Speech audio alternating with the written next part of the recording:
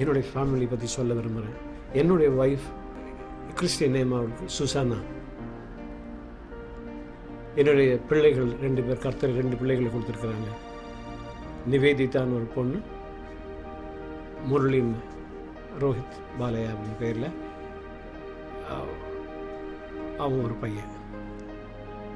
இந்த பிள்ளைகளோட நான் போகாத இடங்கள் நான் ஜாலியெல்லாம் ஜாலியாக அப்படி இப்படிலாம் அங்கே இங்கே எல்லாம் சுற்றிக்கிட்டு இருப்பேன். என் பிள்ளைகளுக்கெல்லாம் நான் அந்த மாதிரி இடங்கள்லாம் நான் கம்மி ரொம்ப வருத்தப்படுறேன். இப்போ என்ன ஆண்டவர்கிட்ட மன்னிப்பு கேட்பேன். ஆண்டவரே அவைகளையெல்லாம் நான் காட்டினனே அப்படின்னு எனக்கு வருத்தமாக இருக்கும் உண்மையிலே. உங்களுக்கு ஜீவன் உள்ள தேவனை காமிக்காமல் போயிட்டேனே. இன்னும் எனக்கு யாரும் சொல்லலை கர்த்தருக்கு பிரியமானவர்களே.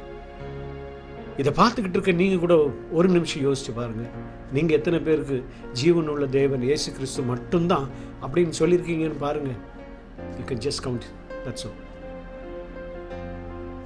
அத்தனை பேர்கிட்ட நீங்கள் சொல்லணும். ஏன்னா நான் போய் தேடி போய் எனக்கு உதவி நான் அழுதுருக்கேன். என்னை காப்பாற்ற யாருமே இல்லை அப்படின்ட்டு இப்போ கடவுளாக நினச்சது எல்லாத்தையும் பா முன்னாடி உட்கார்ந்து அழுதுருக்கேன். எதுவுமே எனக்கு உதவலை. பிகாஸ் என்னை பார்ப்பதற்கு அவர்களுக்கு அவைகளுக்கு கண்கள் இல்லை. என்னுடைய அழுகையின் குரல் என்னுடைய வேண்டுதல் இதெல்லாம் கேட்கறதுக்கு அவைகளுக்கு செவி இல்லை. செவிகள் இல்லை. என்னை ஆறுதல் படுத்த அதற்கு வாய் இல்லை. No. ஜீவன் உள்ள தேவன் என்னுடைய இயேசு கிறிஸ்து. அவர் மட்டுமே. என்னால எப்படி சொல்றதுன்னு தெரியல. நாங்க அங்க போய் காசு பணம்லாம் போட்டு வந்து அதெல்லாம் எதுவுமே கையில கயிறு கட்டுறது கழுத்துல கட்டுறது எதுவுமே ஹெல்ப்பா நமக்கு யாருக்கும் ஹெல்ப் பண்ணாது கருத்தருக்கு பிரியமானார்கள் ஏன்னா உண்மையான தேவன் ஏசு கிறிஸ்து பைபிள்ல இருக்கிறார். பைபிளை படிக்கும்போது தான் நமக்கு அவர் நம்மளோட பேச தொடங்குவார் என் மனைவி கூட பார்த்தீங்கன்னா எனக்கு எனக்கு முன்னாடி என் மனைவி ரட்சிக்கப்பட்டாங்க. என்னுடைய வாழ்க்கை கூட வேதத்தை ஒட்டி வந்திருக்குன்னு நான் நினைக்கும் போது ரொம்ப பெருமையா இருக்கு எனக்கு. என்னன்னா பைபிள்ல நாகமான்ற ஒரு அதிகாரிக்கு அவங்க வீட்டு வேலைக்கார பெண் மூலியமா தான் அவன் வந்து கு- குணமானாங்கிறது போல என் வீட்டில் என் வீட்டு வேலைக்கா வீட்டில் வேலை செஞ்சுட்டு இருந்த ஒரு சகோதரி மேரின்னு பேர். அவன் மூலியமாக தான் அவங்க மூலியமாக தான் எனக்கு ஆண்டவர் எங்கள் வீட்டுக்குள்ள அறிய முடிஞ்சது. கர்த்தர் பிரியமானே எனக்கு நாங்கள் போய் ஆண்டவர்கிட்ட போய் நான் கா காசு போட்டு இதை போட்டு இதை ஊற்றி அதை ஊற்றி எதுவுமே செய்யலை கர்த்தருக்கு பிரியமான ஒவ்வொரு நாளும் நான் டென்ஷனில் வாழ்ந்துக்கிட்டு இருந்தேன். ஏன்னா இவங்க வந்து என்ன பிளாக் கடன் கொடுத்தவங்க வேதம் சொல்லுது இல்லையா? கடன் கொடுத்தவர்களிடத்துல கடன் வாங்கினவங்க அடிமைகளாக இருப்பாங்கன்னு. பைபிள் போய் சொன்னதில்லை. உண்மை நான் அடிமைத்தனமாக வாழ்ந்தேன். அதில் பார்த்தீங்கன்னா ஒரு எனக்கு கடன் கொடுத்த ஒரு ஆள் வந்து ஜூனியர் பாலையன்மா பணம் தர வேண்டாம். ஒன்றே ஒன்று மட்டும் அவர் செஞ்சால் போதும். தற்கொலை பண்ணிக்க சொல்லுங்கள் அவர் அவர் இறந்து போயிட்டாருன்னா நாங்கள் ரைட் ஆஃப் பண்ணிடுறோம் ஒன்று அது பிசாசன் சத்தம்னு எனக்கு அப்போ தெரியல. பார்த்தீங்கன்னா ஹெவி டென்ஷன்ஸு சரி நான் அப்போ குடிக்கிற பழக்கம் ஃபுல்லாக குடிச்சிட்டு கார் எடுத்துக்கிட்டு எங்கேயாவது மோதி செத்துடலான்னு வேகமாக போனேன். எந்த அளவுக்கு வேகமாக போகிறோனோ அதே அளவு திரும்பி வந்துட்டேன். எனக்கு ஒன்றுமே ஆகலை. அப்போ ஏன்னு எனக்கு புரியல. ஆனால் இப்போ நான் ஆண்டவருக்குள்ளே வந்ததுக்கப்புறம் தான் புரியுது. தேவர் நம்மை முன் குறித்திருக்கிறார் தேவன் நம்மை முன்குறித்ததுனால் பார்த்தீங்களா? எந்த மனிதனும் எந்த மரணமும் நம்மை ஒன்றும் செய்ய முடியாத கருத்து பிரியமானவர்களே. இயேசு கிறிஸ்து ஒருவரே ஜீவன் உள்ள தேவன். இப்போ நீங்கள் என்னை பார்த்துக்கிட்டு இருக்க ஒவ்வொருத்தரும் நீங்கள் ஷுட் ரியலைஸ் அவரை தவிர வேறு தேவன் யாரும் இல்லை. ஆண்டவரை ஏற்றுக்கொள்ளாதவங்க யாராவது இருந்தால் கூட அவங்கள்ட்ட நீங்கள் சொல்லுங்க. இதை நான் ஏன் சொல்கிறேன் அப்படின்னா எனக்கு பிரச்சனைக்கு மேலே பிரச்சனை. அதாவது தாங்க முடியாத பிரச்சனை இருக்கும்போது தான் எங்கள் வீட்டில் அந்த வேலைக்கார பெண் மேரி வந்து ஒரு பைபிளை கொண்டு வந்து கொடுத்துச்சு. அந்த பைபிளை கொடுத்தோன்னே என் அது பாருங்க தேவன் யாரை வேணுனாலும் பயன்படுத்தலாம். அந்த பொண்ணுக்கு வந்து படிக்க தெரியாது. அது தெலுங்கு girl தெலுங்கு படிக்கவும் தெரியாது பேச மட்டும்தான் தெரியும். தமிழ் பேச தெரியும் படிக்க தெரியாது. அப்படி இருக்கும்போது இங்கிலீஷ் எந்த லெவலில் இருக்குன்னு யோசிச்சு பாருங்களேன். பட் அது கொண்டு வந்து கொடுத்தது வந்து ஒரு நியூ டெஸ்டமெண்ட் பாதி மத்தையில் பாதி வெளிப்படுத்துகிற விசேஷம் இல்லை. ஆனால் அந்த பைபிளை கொண்டு வந்து கொடுக்குறத என் மனைவிட்ட கொடுத்து படின்னு. தேவன் எப்படி பயன்படுத்துகிறார் பாருங்க. அந்த பைபிளை படிக்கும் போது என் மனைவிக்குள்ள மாறுதல் ஏற்பட்டுச்சு. வேதம் சொல்லுது இல்லையா? கர்த்தரே ஆவியானவர் ஆவியானவர் எங்க உண்டோ? அங்க விடுதலை உண்டு. உண்மையிலே கர்த்தருக்கு பிரியமானது அந்த வசனங்கள் மூலியமாக அந்த பைபிள் மூலியமாக ஆவியானவர் எங்கள் வீட்டுக்கு விடுதலை கொண்டு வந்துட்டார். ஆனால் பாருங்க எனக்கு தெரியல. பிகாஸ் நான் வந்து அப்பவும் போய் மனுஷனை போய் கடவுளாக கும்பிட்டுக்கிட்டு சொல்லவே ஒரு மாதிரி கூசுது எனக்கு.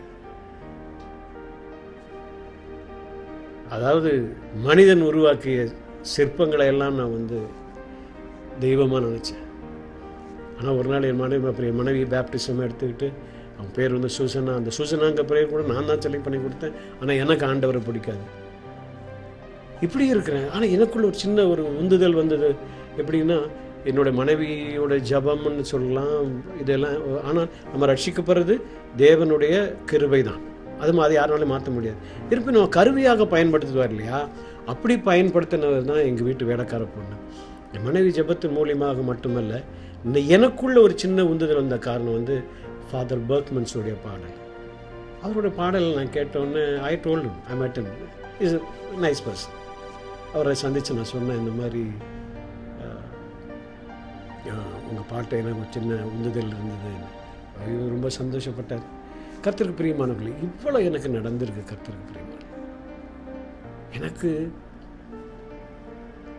என்ன பண்ணுறதுன்னு தெரியாமல் இருந்த ஸ்டேஜஸ்லாம் இருக்குது என் நண்பர்கள்லாம் என்னை கைவிட்டு நிறைய நண்பர்கள் என்னை கைவிட்டு என்னை அவமானம்லாம் படுத்தினாங்க. நான் என்னை வீட்டுக்கு வந்த ஹெல் நான் உனக்கு ஹெல்ப் பண்ணுறேன் வான்னு கூப்பிட்டு வீட்டுக்கு போனால் ஜன்னல் வழியாக பார்த்துட்டு நான் உள்ளே என்டர் பண்ணும்போது பேங்க்கில் என்ன செக்கு பவுன்ஸ் ஆயிடுச்சா இப்படியெல்லாம் சொன்னாங்க. என்னுடைய கார் என்னுடைய பர்ஸ் எல்லாம் யூஸ் பண்ண ஃப்ரெண்ட்ஸ் பார்த்தீங்கன்னா ராசியை பார்க்க ஆரம்பித்தாங்க எனக்கு இன்னும் ஆச்சரியமாக இருக்குது இப்படிலாம் ஒரு நிலைமையில் நான் கடந்து வந்தமேன்னு அப்போ தான் என் மனைவி வந்து அவங்க சபைக்கு கூட்டிகிட்டு போனாங்க. கூட்டிகிட்டு போயிட்டு எனக்கு ப்ரே பண்ணுவாங்க. நான் அப்போ அந்த சபைக்கு என்ன ஆறு மாதமாக தேடிட்டு இருந்தேன் என் நண்பரை. அவரை என்னால் பார்க்கவே முடியல. அப்போ தான் அந்த சபையில் போய் என்னறியாமனு ஆள ஆரம்பிச்சிட்டேன். பயம். ஏன்னா அவங்க வருவாங்க யாரோ வந்து சாயந்தரம் வந்து கேட்டாங்கன்னா என்ன பண்ணுறதுன்னு தெரியலன்னா பயமாக இருந்தது எனக்கு. அப்போ தான் பார்த்தீங்கன்னா அப்படி ஒரு வசனங்கள் அப்படியே அந்த சைட்லலாம் வந்து வசனங்கள் பலகைகள்லாம் இருந்தது.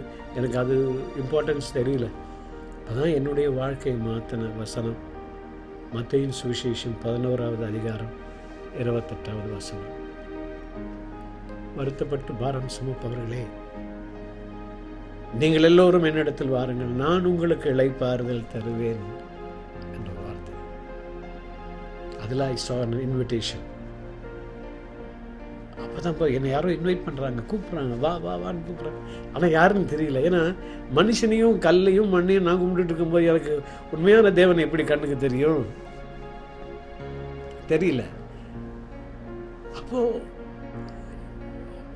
புரிஞ்சிடுச்சு அப்போ ஏசு கிறிஸ்து அவர் தான் அவர்கிட்ட தான் நம்ம போய் என்னை காப்பாத்துங்கன்னு கேட்கணும்னு சொல்லி நான் அழுதுட்டேன். இயேசுவே இயேசுவே ஜீசஸ் ஜீசஸ்னு எத்தனை முறை சொன்னேன்னு எனக்கு தெரியல. அத்தனை முறை சொல்லிக்கிட்டே இருக்கிறேன். ஆறு மாசமா என் நண்பரை பார்க்க ட்ரை பண்ண கிடைக்கவே இல்லை. நான் இயேசுக்கிட்ட சொன்னேன்ப்பா என்னை அறி என்னை அறியாமல் நான் ஆண்டவரை ஏசப்பான்னு கூப்பிட்டேன். பைபிள் சொல்லுது இல்லையா நம்ம எல்லாம் தேவனுடைய பிள்ளைகள்னு. அது உத்தரவாதம் ஆவியானவர் கொடுத்துருக்கிறார். சென்னை என்னை காப்பாற்றுங்க நீங்கள் என்ன காப்பாற்றலைன்னா டெஃபினட்டாக நானும் என் ஃபேமிலியும் நான் சூசைட் கமெண்ட் பண்ணிப்போம். நான் டார்ச்சர் என்னால் தாங்க முடியல. எனக்கு என்ன பண்ணுறதுன்னு தெரியாமல் நான் தவிச்சுக்கிட்டு இருக்க இந்த ஆனால் நான் என்னை அறியாமல் செஞ்சது என்னென்னா தேவனுக்கு முன்பாக நாம் தாழ்த்தி கொள்ள வேண்டும். என் வேதம் சொல்லுது இல்லையா?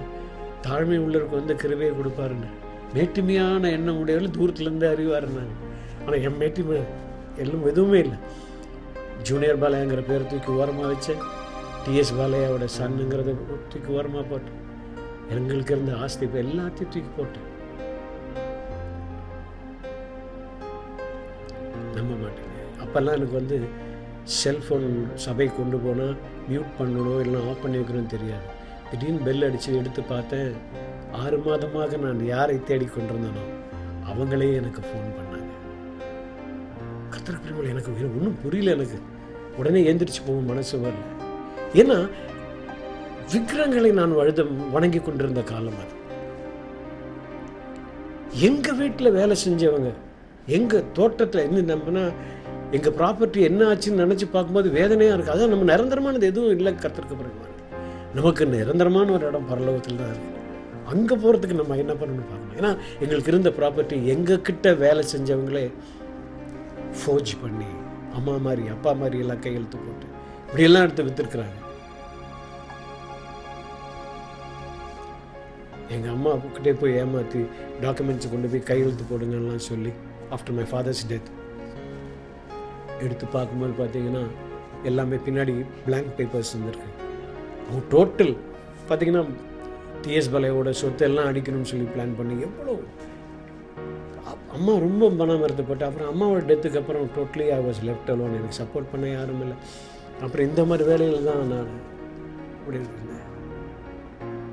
உண்மையிலே அந்த இன்விடேஷன் வருத்தப்பட்டு பாரம் சொல்பவர்களே எங்கள் எல்லோரும் இடத்தில் வாருங்கள் அந்த வசனத்தை நான் பார்க்காம இருந்திருந்தேன்னா என் நிலைமை எப்படி சொல்லவே முடியாது.